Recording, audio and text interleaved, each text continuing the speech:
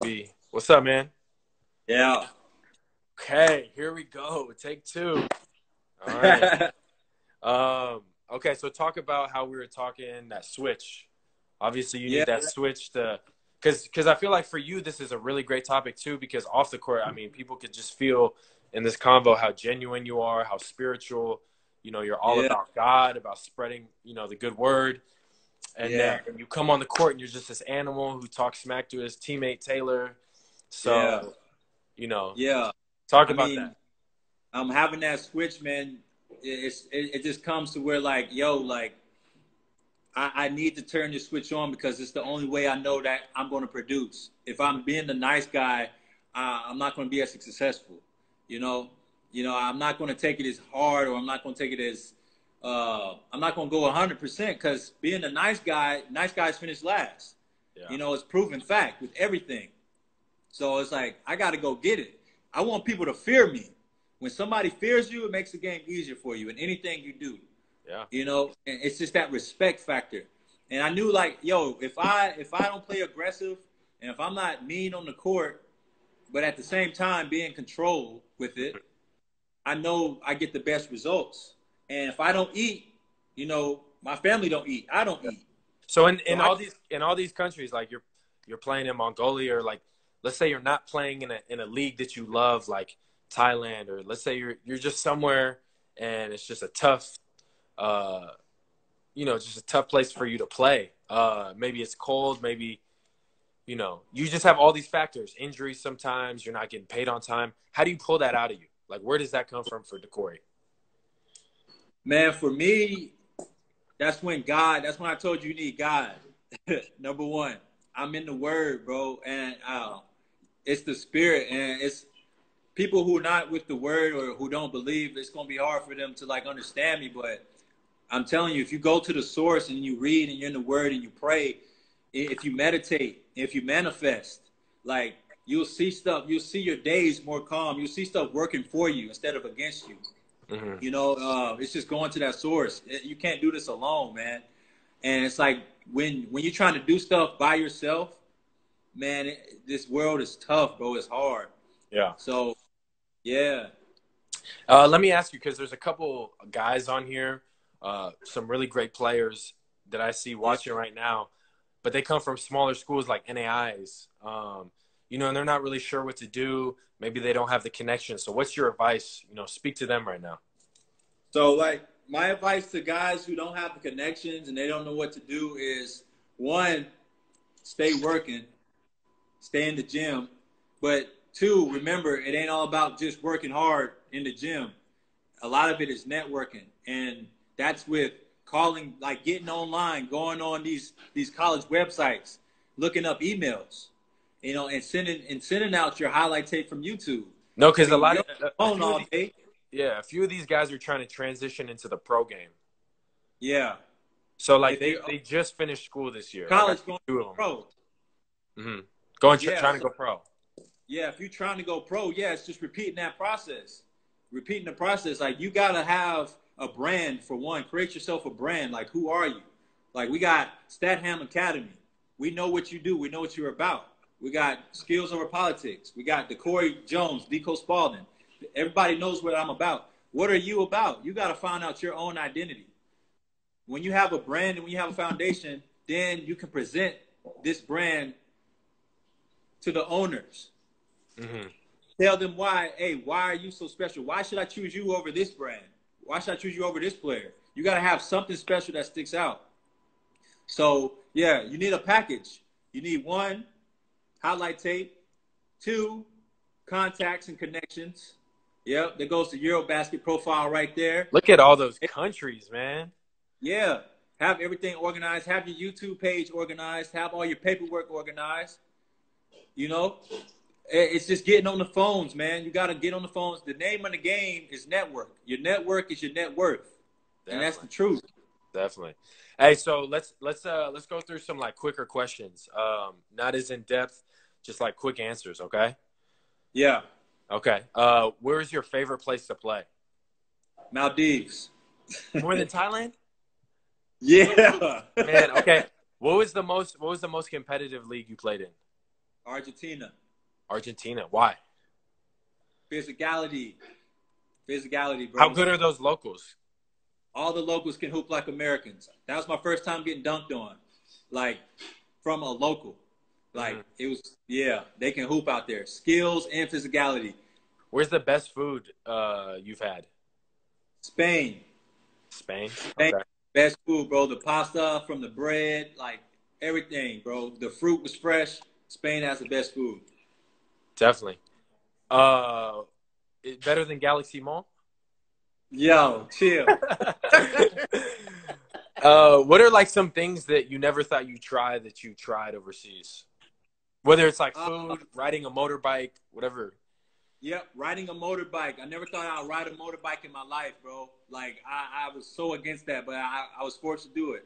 Riding a motorbike, um, eating a foreign animal, you know, where it was like a, a Like a what? fish caught, like bro, going fishing, caught right out of the water, and just Mhm. putting it on, putting it on the grill, eating it right on the spot, or eating eating a fish head, or eating frog, or something like just eating exotic stuff, stuff Yeah. I never tried. How long did it thought- take you to? How long did it take you to open up to stuff like that? Because for me, like my first two years overseas, I I wouldn't try anything like. But now Yeah. that I have, it Yeah. just opened my mind to so much.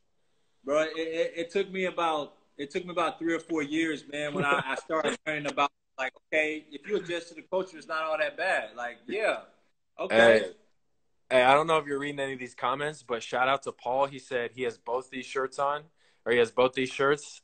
And then one of your boys, Big Hollow, said he big his hollow. own- He cut it on here, y'all. He cold. yeah, but hey, you wild dog. That's Hey, shout out funny, to Big man. Hollow, man. Another dude that grind, man. Definitely. I seen him in Armenia can jump out the gym, and he's one of them guys who touched the D League. And man, dude still ain't taking a chance on him. That's just how hard this game is, bro. So many great players. So many great players. Uh, would you jump with him if if you're under the rim and he's going to dunk? No, I'm not jumping with him, bro. Okay. Like he, yo, he- you know, all guys with dreads have athletic ability. All guys with yeah, dreads, Uh, off top, you see the dreads, you know, man. yeah. Um, Deco, how long are you going to be at Shooting Stars? Uh, so I plan on working with this company for the rest, you know, until I say I'm done. Like this is like, you know, for me a family. Like I feel like I can come back to Brunei anytime I want Mhm. and, and work with them. And you know, we help each other. They're a platform for me. So yeah, actually, I'm gonna say lifetime contract, baby. um, yeah. let me let me ask you because because a lot of guys on here are transitioning to pro. They are pros. Um, you know, just give your experience on tournaments in China and tournaments in the Philippines, like those Yeah. outside tournaments, like Liga La Bus. Yeah, wild, Wild ball. The outside tournaments Taylor's talking about is the wild ball, and you know, you got owners that you know they call you up. You know, you got your flights, you got your food paid for, but you play four or five games a day, and you don't know who you're playing against. So you're on the street, going from neighborhood to neighborhood, earning three to five hundred bucks per game. Mhm. You know, and they want you to entertain. You're out there for entertainment, and you're out there to win. And the money's just super quick. There's no practices. There's no trainings. There, it's just you and your skills and putting on a show and making sure you win for your owner. Definitely. So, how important is it to, uh, for you? I mean, are you know, how fun is it for you to play in those in between seasons? Because I used to love that, man. I would I would be sneaking over there trying to do it like when I was playing three x three, and I was like signed and I was playing representing the Philippines.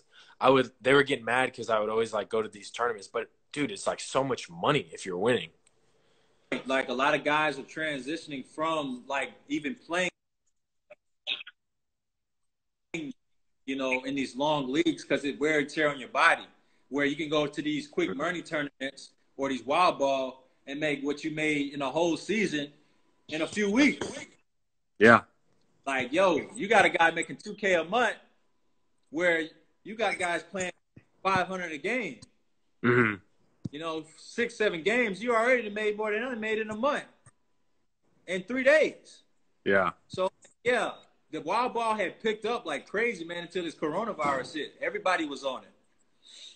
But it's really good to play in between as well there's no, when there's no work. You can just hit these tournaments. Definitely, definitely, man. So, what's next for Deco Spalding? So for me, man, uh, so with the coronavirus that's going on, and the market of basketball is going to take a really huge hit because it's it's highly dependent on sponsorships and stuff like that. Like yo, like schools are never going to go anywhere. Kids are never going to go anywhere. That's that's like guaranteed income. So I'm I'm looking into like uh, just working with this academy and also teaching. I'm I actually I'm going back to school. I'm thinking I'm going I am going to go back to school. I'm gonna get my teaching degree. Oh wow! So I can be like a teacher in a school. It's just something like life after basketball. And this coronavirus has showed me that like yo, once this basketball stuff stops, there ain't no more money coming in. Mm-hmm. I can't even coach kids right now because of you know what's happened. But I know one thing: teaching will always be there. Yeah, definitely. So I plan on going back to school, man. So how is how important is it for guys to also focus on life after basketball? Oh, it's really important. A lot of guys are just going with the motions, just hooping, and then when they're done with basketball, they don't know what to do. They don't have no no no plan B. Like for me, I've I've networked and I've connected to people to where like, yeah, when I'm done with basketball, I'm gonna still be able to make money from basketball just in a different way. Not playing, but coaching kids or going and speak at seminars, you know, or doing commercials, like you know, teaching drills. Like yeah. You got to be versatile. You you got to be your brand. You just can't put the ball in the hoop. Definitely, definitely, man. Well, I appreciate your time so much, bro. Um, if you got anything else you want to say to players out there listening, uh, now is the time. Yeah, I mean, shout out to you, man. Statham Academy, bro. What you're doing for the, the culture is really good. Skills over politics as well, and uh, this is good for the culture, man. Because it's a lot of these professional NBA players. They're doing their thing, but it's at their level, and we really can't relate. So it's good that we have a platform like yourself, you know, giving players like for our our level, you know, like people that can relate to our stories and our struggles and um, are actually living what we're. So shout out to you, and then also like shout out to all the hoopers that's grinding, man. Stay grinding, stay working, keep the faith. Um, it's bro, like I'm a living testimony. Like six points per game. Now, like yo, I, I'm my own brand. Like I, I'm not hurting. Yeah. So last question: uh, How much does this picture right here put fear in your heart? I'm very scared. Hey, you're my idol. no, shut up, man. I'm just messing with you. it took me so long. I tried to pull up the 57 points, but my face is like covering it right now. Yeah, yeah, yeah. Nah, but hey, man, I appreciate you so much. Continue to do what you do. Uh, stay healthy out there in Brunei, man. Don't let Sam drive you too crazy.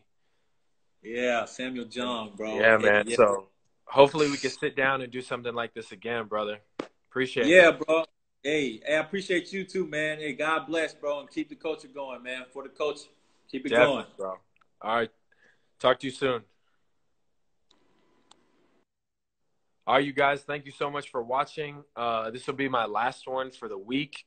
We'll start. Oh, uh, Sunday we'll probably redo Mario Wuysang for you guys who didn't see. There's probably like 50 Indonesian fans who hit me up about it. Um, so we're just going to redo it for everybody. He has so much great things to say. If you guys have any questions, comments, concerns, you know where to DM me. Other than that, stay healthy, guys.